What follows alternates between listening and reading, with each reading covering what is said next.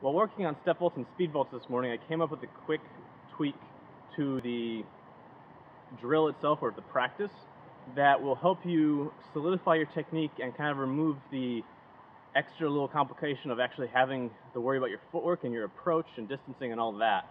So if you haven't practiced step vaults or speed vaults before, you can check the description below and there will be tutorials for that. Now with that said, the idea here is that like I said, traditionally when you're practicing any vault pretty much, you're approaching it at a run or at least have a bit of momentum going. So like this.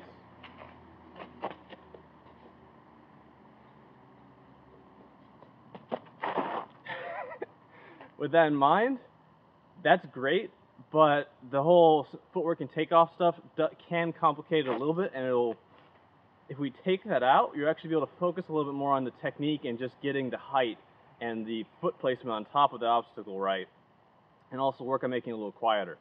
So with all that said, what we're doing today is just, instead of doing this, all these at a run, you can approach them at a walk. Or you can just start right in front of the obstacle if you prefer. Uh, the walk helps a little bit though, so you still have your foot placement practice.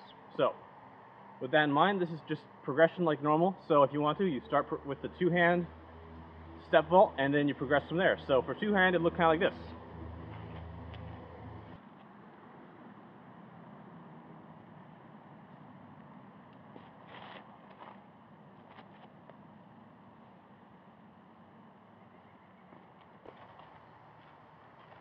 And once that's feeling pretty good, start doing the same thing, but one hand.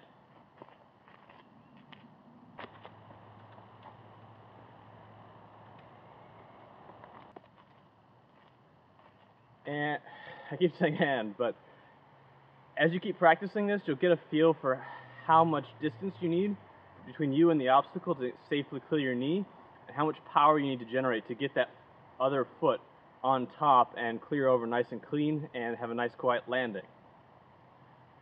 For speed vaults, though, there's a little bit of a difference in technique because your goal with a speed vault isn't just to clear over and do the step through technique. It's to actually pull both your legs to the side so that they're practically parallel with the ground. With that in mind, there's not that much different. It's just that you're going to have to think about pushing a lot harder off of that last step that you take before you do the vault. So in this case, normal speed vault looks kind of like this.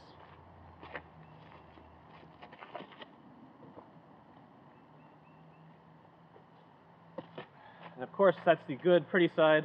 We'll look at the other one in a sec. But as you see, legs go to the side. So same thing, but you're doing this at a walk.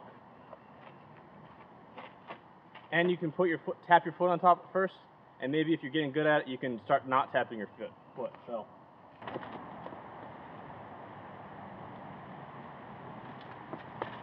And then not tapping your foot.